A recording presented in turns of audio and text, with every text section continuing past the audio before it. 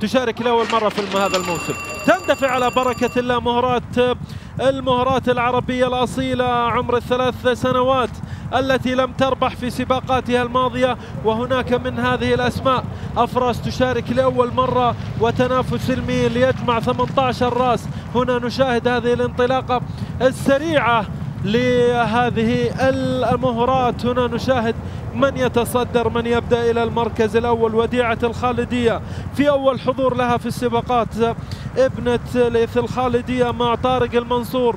تبدأ بجوار السياج إلى المركز الأول في مطاردة قوية من شموخ شار ابنة خالد البويبية بشعار إبراهيم الحويطي مع عبد الله الخميس. بينما نشاهد أيضا المحاولات في ثالث المراكز.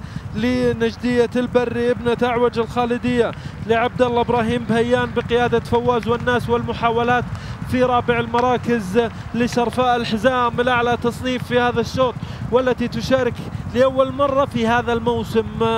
وهنا نشاهدها بدأت في التقدم للمركز الثالث. تحرك ملحوظ للعنود FBR ابنة حران FS لخالد فهد الحوشان مع عبد الله الكريديس. هنا لا زالت الصدارة مع وديعة الخالدية ابنة ليث الخالدية بشعار خالد السيد التي تصدرت منذ بداية السباق. ما شاء الله تبارك الله.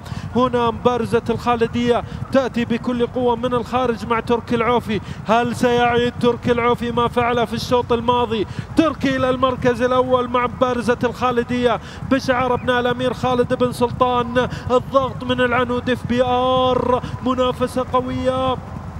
مهرتين المهرتين العربية.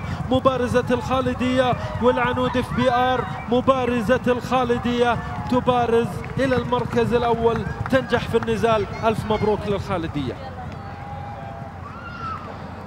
مبارزة الخالدية ابنة ليث الخالدية ولم بن شموخ الخالدية لأبناء الأمير خالد بن سلطان بن عبد العزيز رباط سعد مطلق والقيادة لتركي العوفي تسجل الفوز الأول في سجلها السباقي من المشاركة الأولى وتركي ما شاء الله تبارك الله.